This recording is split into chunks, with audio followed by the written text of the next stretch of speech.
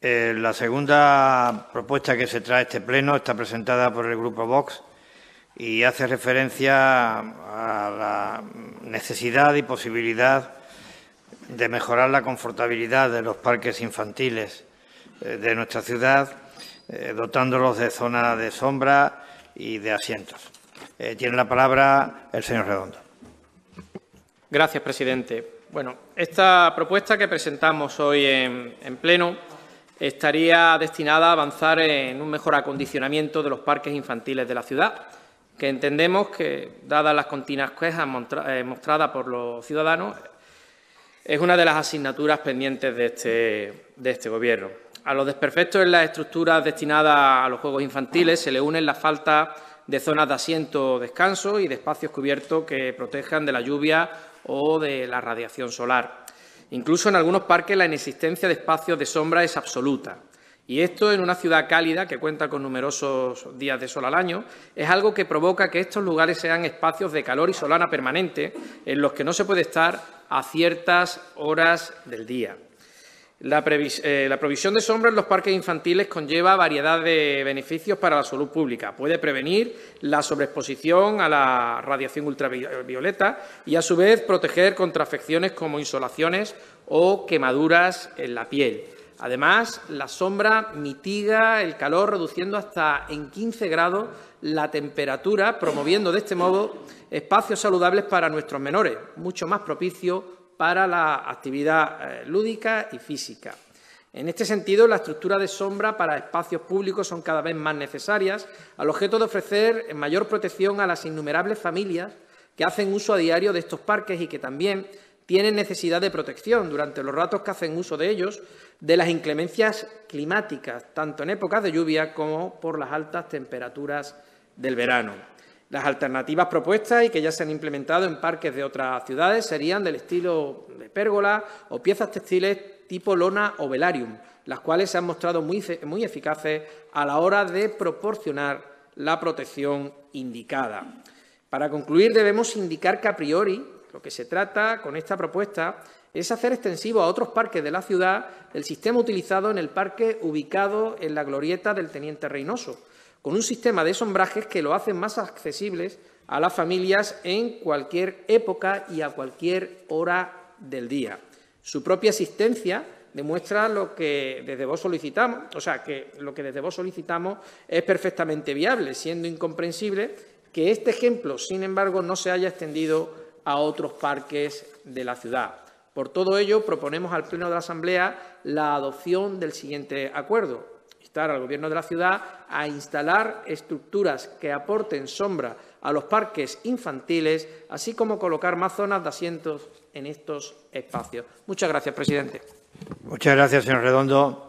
¿Algún grupo quiere hacer uso de la palabra? Señor Ramírez, tiene usted la palabra. Gracias, gracias presidente. Sí, bueno, decirle que bueno que vamos a apoyar apoyar la propuesta.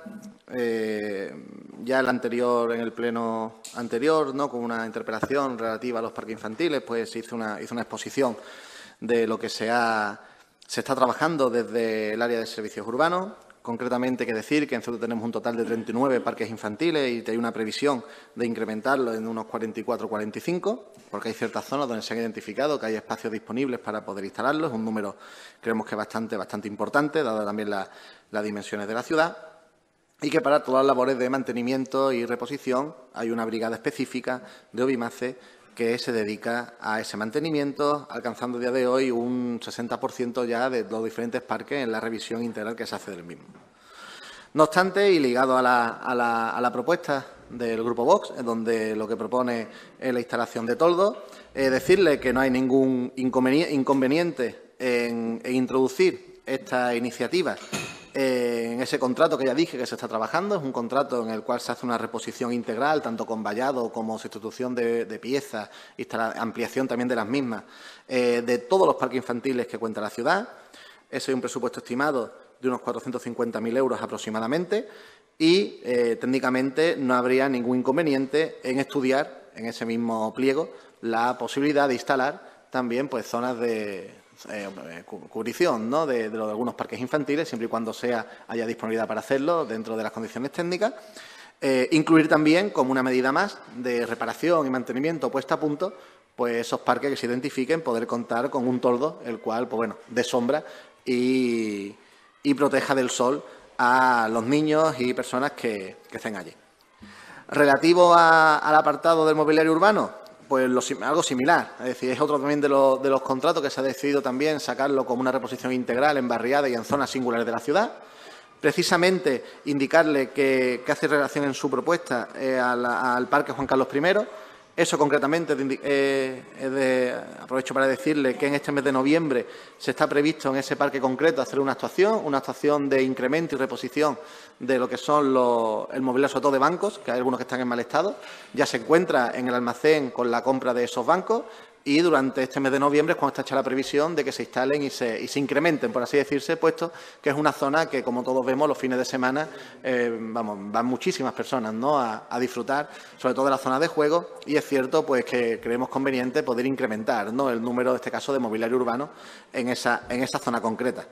Se va a hacer algo similar, como he dicho, es decir, un contrato en el cual ya se ha identificado todas las necesidades prácticamente en toda Ceuta, barriada de espacios singulares. Va a tener, creo, un precio más o menos similar al que hemos dicho anteriormente de los parques infantiles, un poquito más elevado. Y el objetivo no es otro que con estos contratos, de, como he dicho dije la otra vez, de eh, conseguir eh, dos, dos, objetivos. ¿no? El primero de ellos, poder contar con una reposición integral de tanto parques como mobiliario urbano de toda la ciudad y a continuación poder mantener también de manera continua un servicio de mantenimiento y reposición entre OBIMACE y también el contrato que podamos sacar. Sobre todo, eh, el objetivo es cubrir eh, situaciones podemos considerar, entre comillas, como de emergencia, ¿no? Es decir, si, por ejemplo, un viernes hay una incidencia en un parque infantil concreto o en un mobiliario urbano que genera peligro, tener un contrato en vigor para que se pueda reponer de manera inmediata eh, y no tener que esperar, por ejemplo, pues hasta el lunes siguiente, ¿no? donde ya el personal de OIMACE pueda pues, actuar de manera continua. Esa es la planificación que se ha llevado a cabo desde el área, concretamente de Servicio Urbano y OBIMACE, sobre parque infantil y mobiliario urbano. Y la previsión de estos contratos es que bueno, ya está el pliego redactado y que podamos empezar a ejecutarlos a principios de, del 2024 aproximadamente. Mientras se hacen labores de reposición más puntuales, no de manera integral, pero y el seguimiento que a día de hoy hace tanto los controladores de barriadas como también, como he dicho, el personal de la Sociedad Municipal Obimace. Gracias, presidente. Gracias, señor Ramírez. Eh, señor Redondo, tiene usted la palabra. Gracias, presidente. Bueno, pues me congratulo de la sensibilidad mostrada por parte del Gobierno ante esta propuesta, porque es al final lo que cuenta, que se ejecuten las medidas y que estas propuestas se lleven a buen fin. No es una demanda, evidentemente, que hace Vox, es una demanda de la ciudadanía y de eh, multitud de familias que hacen uso de estos parques y que encuentran que no reúnen las condiciones más adecuadas para que eh, sus hijos pues, puedan estar cómodos eh, y, a gusto en estos, en estos parques que al final es eh, el fin último de la asistencia de estos parques, que los menores disfruten y que las familias puedan estar con sus hijos eh, haciendo uso, un uso adecuado de estas instalaciones. La, previsión que hace el Gobierno me parece muy interesante, pero después no casa con la realidad de la ejecución de las obras que se realizan para mantener adecuadamente estas infraestructuras en estos parques en muchas de las barriadas de nuestra ciudad. Entiendo que si existe una demanda ciudadana es porque no se está cumpliendo adecuadamente con las previsiones que acaba de eh, plantear y acaba de explicar el, señor consejero. Desde el Grupo Vox insistimos que lo que importa no solo es que existan esas previsiones, sino que además se haga una ejecución rápida, directa e inmediata cuando se detecten los desperfectos que se producen en muchos de estos parques, porque es habitual el uso continuado por parte, como digo, de esta familia de eh, estos parques eh, infantiles. Eh, para terminar, agradecer, como digo, el apoyo a estas eh, a esta medida, a esta medida demandada ampliamente por muchas familias ceutíes y, sobre todo, eh, pues combinarle a que eh, sean puestas en marcha cuanto antes y, bueno, pues que los procesos de remodelación y remozamiento de estos parques pues se produzcan con la mayor celeridad posible. Muchas gracias, presidente.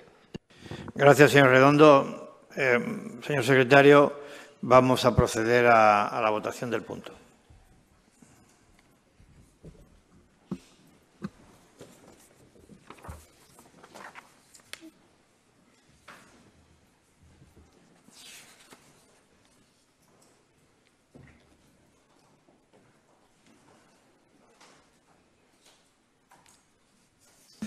Trece votos a favor, ocho votos en contra.